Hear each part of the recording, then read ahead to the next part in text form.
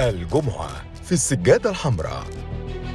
هو هداف بالفطرة عارف طريق الجول حتى لو مديله ظهره. لقاء خاص مع الكابتن أحمد بلال نجم الأهلي السابق.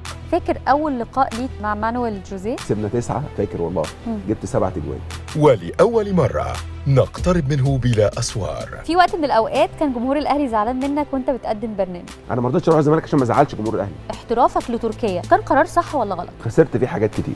حوار بلا خطوط حمراء على السجادة الحمراء. حبك في الأهلي الكبير ده يا ترى هو سببه إيه؟ أنا بشجع الأهلي عشان هو يستحق الأهلي إن إحنا نشجعه.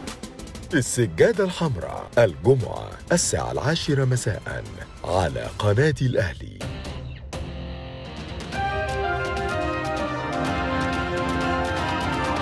الأهلاوي مش هيسيبنا.